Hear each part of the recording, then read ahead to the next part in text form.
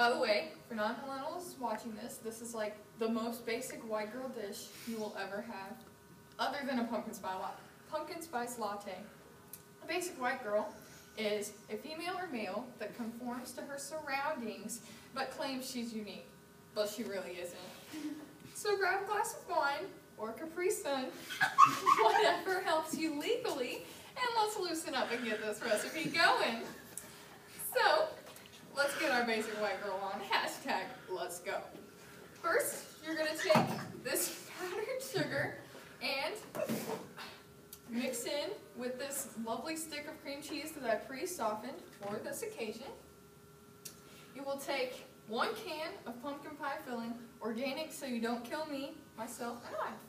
You're just going to put that in there real good. Sometimes it's a pain, so if you grab your handy dandy teaspoon. You're going to put that in there real nice. Gosh, I just love pumpkin. And while I'm doing this, you can sip your Capri, Capri Sun or wine, whatever you prefer. Sometimes you need something heavier, shot of tequila, whatever works best for you. So, then, you're gonna mix it real good. Real, real good. Like that red-headed stepchild, know, just whip it in there, real nice. Gonna do this for just a couple seconds. Take another sip of wine and ask yourself why you're doing this. And then, great part of this, you're gonna add in a little bit of basic white girl. Now, basic white girl, for this case, is pumpkin pie spice. So you're just gonna mix that in there, real nice. Now, here's where we're gonna get to the best part. Let me tell you how to properly eat pumpkin pie. You take a piece of pumpkin pie, you take this whole container, and you put it on top.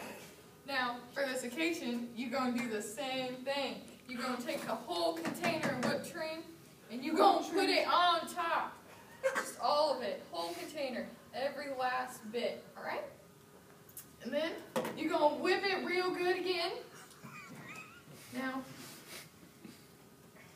you'll mix that together real nice. There are a lot of other ways you could make yourself happy on a day that you're out of the hospital and you can't really eat anything. But what other way than pumpkin pie did? I mean, honestly. And also, we need to get to the best part, which is eating it.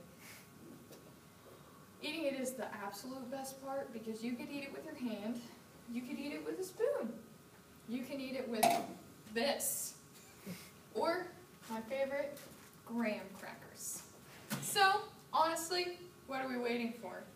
Oh, yeah, I have to get it to you. Right. Hashtag let's feast. P.S. Don't forget to subscribe to my channel. It's called When You're So Hungry You Can't Eat Normal Food, so you make random food dishes that are easy on your tummy, and this is the outcome.